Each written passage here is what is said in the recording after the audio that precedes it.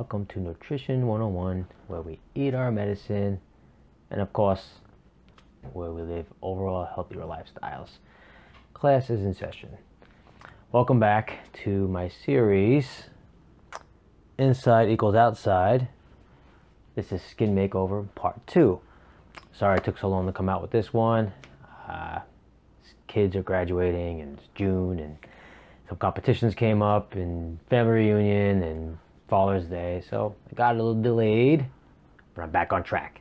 So if you remember on part one, we went over what not to eat, what to avoid in our diet to help us reach better overall healthier skin. So if you like that information, make sure you share this, punch that like button, and definitely subscribe because this is some information that you're going to want to get.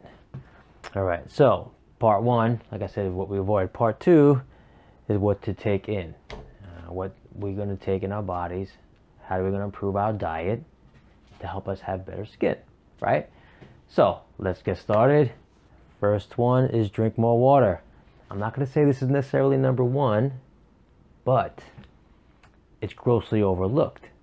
So I had to put it at number one because there are more people lacking hydration and water um, than you would think. Uh, and it's not just about drinking water, staying hydrated, but that's going to come into a later video. But I just want to say for now, you want to drink water. Plenty of it too. Men are going to drink three liters at least. Women want to be at two liters. And athletes, no matter what sex, will be three to four liters. Right? Get enough of that. This is a good time to drink it is when you first wake up in the morning. I like to just roll out of bed, still rub my eyes. I'll walk over to the sink. I'll put a little apple cider vinegar in a glass, a big 16 or 20 ounce cup actually. I fill it with like room temperature, maybe even on a little warmer side of water. Fill that up, guzzle it down. Don't walk away from it, just down it, and there you go. You start your day off. What you can do is just close your eyes and actually feel the water like waking up your skin. Uh, you're going to feel it right away. Like if this is how you can get more in tune with your body, you know, recognize it, relax. Just just take the time, take a big sip, put the water down, put your arms down, just let the water hit your bloodstream, hit your skin, and wake you up. So that's one way. It kind of revitalizes you. It kind of makes you also a little full. So you won't make bad food choices right away in the morning, right? Because that's what happens. You wake up, you're hungry, and you just start reaching for like whatever your mind feels like it's having, particularly sweets or cereal. Drink that water. That should help temporarily, and then you can make a better food choices. All right, moving on to number two, bone broth.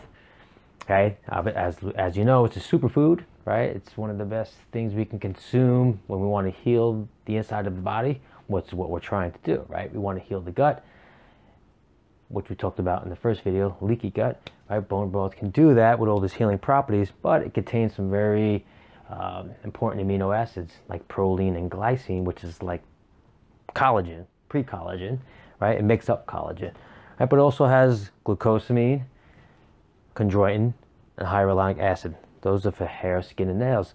Glucosamine, chondroitin, hyaluronic acid is found in uh, the uh, joints and cartilage of animals.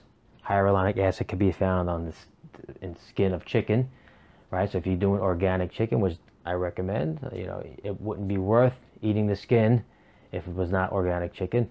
You can get hyaluronic acid, right? But you don't have to eat that because you can just all get it in bone broth. You can make your own, or what I do is I get a powder. I do a scoop or two a day, a scoop in my in my smoothie, and maybe even one in some hot water. Uh, like if I if I do a no flavor hot water, just kind of make a broth. It tastes like a very diluted, very diluted like chicken broth or chicken soup if you were to give it a taste. But otherwise, it would go in my smoothie and that's how we get the bone broth. But again, you can make your own. Big pot, only lasts a couple of weeks. It becomes a little pricey, a little time consuming because you have to cook it for like 48 hours in a, in a crock pot. Okay, number three, antioxidant rich foods. Okay, we hear this word going around a lot, antioxidant rich foods. Well, antioxidants protect our body. And some people might wonder why why we have, why do we need that? You know, I eat pretty healthy. But you know, we have free radicals in the air. We don't we don't eat everything organic, right? We there are some oils we might eat or some sugar we might eat, and you know we breathe in dirty air. It's, that's just that's just the world we live in. So we need antioxidants because it protects the body. It helps us to kind of separate the toxins from our food, and then of course release it into the liver, and the liver kind of flushes that out. We can get that through green tea, oregano, specifically oregano essential oil, but you could also eat oregano and as the herb and, and spice. I recommend that as well. But the essential oil is great. Not too much of it, and you can't be on it too long, but you can consume it, and that is really good for antioxidants. Cinnamon, I consume every single day, and anything I can get that can get cinnamon in it. Usually, if it's something sweet like oatmeal or or yogurt or my smoothies, cinnamon's going inside it no matter what. All right. Also, I also do uh, like a raw cocoa. I didn't put it here, but I do a raw cocoa beans, like a powder, organic or raw cocoa, pretty much every single day in my my bear in my chocolate banana smoothies. All right. Dark berries, which you know are going to be your blackberries, blueberries, cranberries, things like things along that nature. Try to grow organic. Again, if it becomes very expensive, so you can buy them frozen, which is what I do. I buy a big frozen bag of mixed berries, and I use those in my smoothies. Beans, high in sugar, so you want to be careful, but very rich in antioxidants and greens. Now, a lot of times you see foods antioxidant, anti-inflammatory. That's true. A lot of a lot of foods do have both properties, right? So they kind of can be linked together. Okay. But if we eat a lot of these, we're not going to need these, right? If we eat a lot of antioxidant rich foods, we're protecting our body, we're getting we're getting rid of any toxins that we might have and we won't have as much inflammation or maybe no inflammation, right? If we don't have inflammation, then we don't have we don't really need anti-inflammatory rich foods. But again, they go hand in hand. So leafy greens are going to be antioxidant rich foods and they're going to be anti-inflammatory rich foods specifically leafy greens, which has chlorophyll, more like borophyll. Nah, sorry about that. That was a movie reference, but if you know it, you know it. All right. So yeah, anti-inflammatory rich foods, leafy greens, probably one of the best ones you can consume. Again, you want to eat these foods because of the end game, right? Which is to live an overall healthier lifestyle. You don't necessarily have to love these foods. I don't always love all these foods, but I eat them because I know what I want in the end. And that's better skin, bigger muscles, health, healthier body, feeling good, looking good. That, if, if, that's, if that's your goal, then you want to do these things. Of course, you can make these foods taste really good, but I happen to love everything on this, on this list. So uh, I have no qualms with that. Turmeric, uh, I've spoken about before. It's a pretty much a legal, natural antibiotic, right? This is like high anti-inflammatory. If you're not quite sure what anti-inflammatory what inflammatory means, it means anything with the word itis in it. So if you if you have something some kind of ailment and ends in itis, it generally means there's inflammation in your body, right? So this helps to knock that off. So you got turmeric, not as bad as you think. If you just eat it in a spoon, I don't like that either. But you know, I throw it on my meat, throw it on my chicken, throw it on my eggs, follow it with pepper, must have black pepper, I mean uh, cayenne pepper with the turmeric because you need a pepper to accompany turmeric for it, for you to get the most effect, uh, optimize the effect of turmeric. So do that. Right, salmon, right, really good as far as healthy fats. really, really good as far as omega-3. And obviously, it's an anti-inflammatory uh, rich food. Okay, kind of prevents bad bacteria from building up. And that's the same thing with coconut oil. It stops bad bacteria from building up. Doesn't necessarily kill them. Some do, some don't. Anti-inflammatory rich foods, but we want to stop them from growing. We don't. We want to make an environment where bacteria can't grow, and bone broth is really good for that as well. And everything on this list here. So again, you can group these together. Um, a lot of these foods are going to be the same, like greens, like berries, berries could fall into this as well.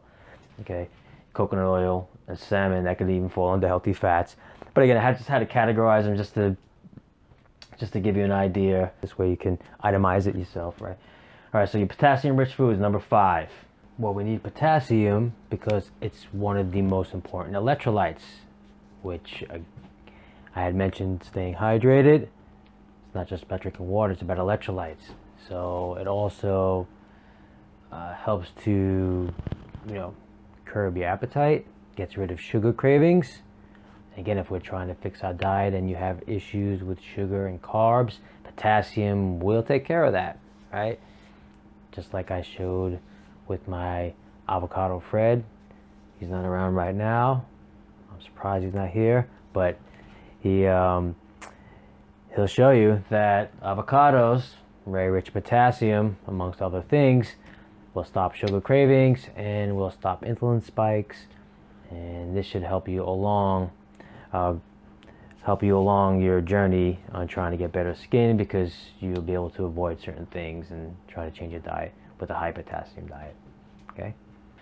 We want to get we want to consume copious amounts of that because it's going to help balance balance out the body and a lot of the foods that have potassium in it are going to have other properties that we need, like avocado, like pineapple has something called bromelain. It's in the core of the pineapple. So if you're eating pineapple, never cut out the core. Just eat that, cut in slices and eat the core as well. And basically leafy greens, a lot of greens are rich in potassium too. And we need a lot of potassium, a lot, to get the, uh, the, the daily value that we're, we're supposed to get. So it's hard to get that, to eat seven cups of vegetables or, you know, three avocados and 10 bananas, whatever it takes. But it's, we, do, we do have to get a lot of it. So fear not, get as much as you can. Don't stop eating it. Uh, whatever whatever food you decide to get it get it from.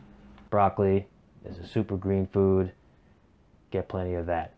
All right, healthy fats, coconut oil. Again, I can't get enough of it. I'm addicted to it. I'm actually low on it right now. I'm pretty mad because I'm like, what, what's my life going to be like without coconut oil? But I'm gonna hang in there. I got to get to the supermarket and get it again. Just been busy. Cook my eggs with it every single day. I put it in my smoothies tablespoon every single day. Anytime I get my get a chance to get coconut oil in my diet, I'm gonna I'm gonna do it. Plus I eat coconut oil. All right, so olive oil, get an extra virgin organic olive oil. Make sure that it goes it comes in a dark bottle. Make sure that you can trace it. It should have a lot number. That's how you pick out good olive oil. Don't cook with that one. That will be on top of your food, your drizzling, your toast, your salad whatever whatever you put olive oil on. Sometimes I'll even make a, like a brown rice pasta, and I'll do a garlic and oil uh, topping. You know, I might cook a little a little oil and garlic together just to get just to coat the the pasta, and then I'll you know drizzle some really good olive oil on top of that just to really give it a good kick. It's a good flavor. olive oil has the polyphenols. Again, if you cook that it's going to kill those and the health benefits of olive oil will go out the window. It's still it's still okay olive oil. It's still it's still an okay oil to cook with, but if you want to get the benefits, don't cook it. Right? So, and that is a, a uh, medium chain fatty acid. We have coconut oil is a medium chain. Organic butter. Butter is not our, is not our enemy. Butter is our friend, right? We just don't need to consume copious amounts of it, but we want to consume it, right? So it's a short chain uh, fatty acid. That's that's good. Means use, it gets used for energy pretty quickly.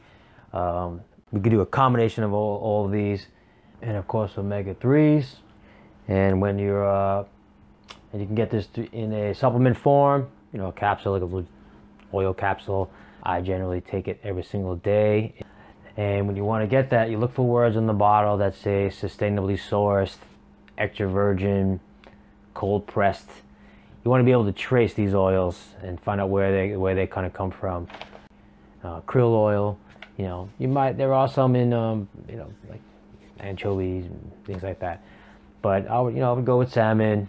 I would uh, Alaskan wild caught. You know, look look look for words like that on your bottle.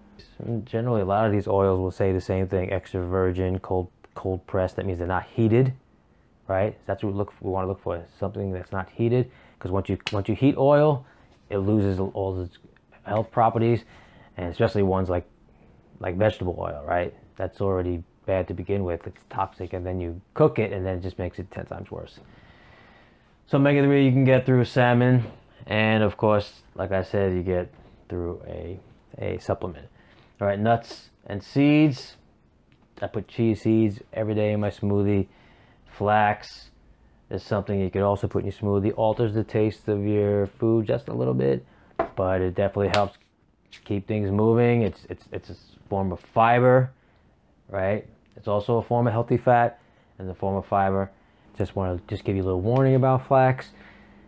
When you heat it up, let's say you're putting in, in your oatmeal or maybe if you're making a healthy pancake or something, it, it kind of runs through you. Just, just, just, just be warned. Don't use too much of it. Eat same thing with chia. Chia is definitely a preference for me.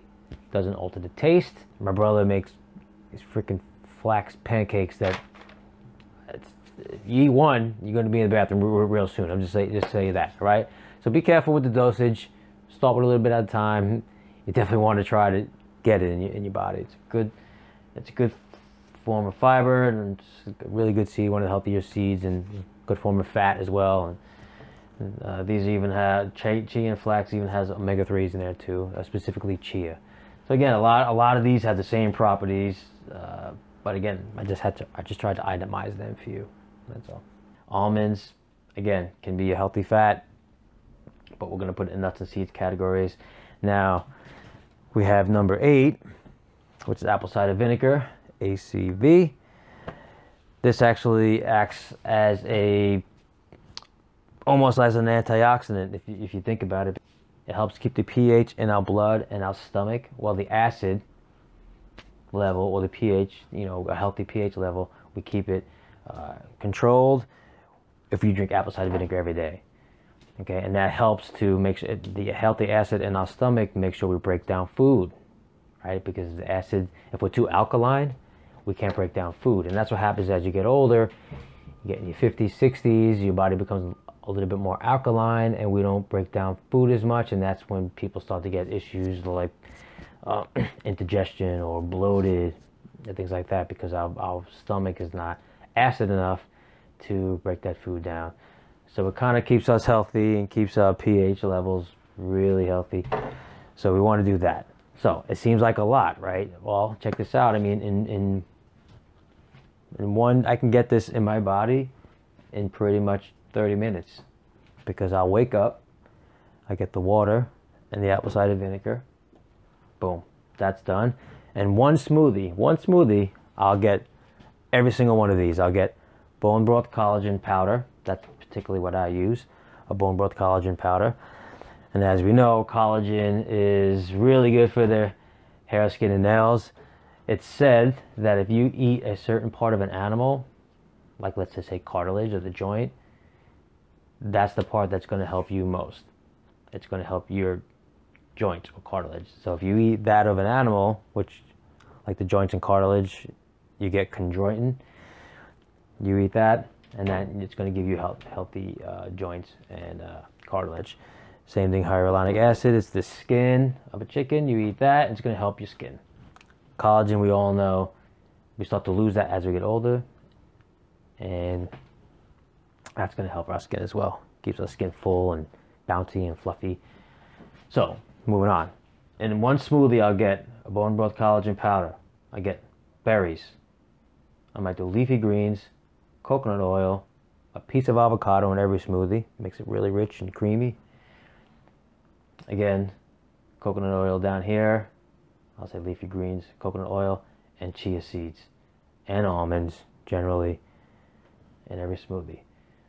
Not as hard as you think. Just have to arm yourself with the right ingredients. Have it around. Have yourself a little smoothie station like I have here.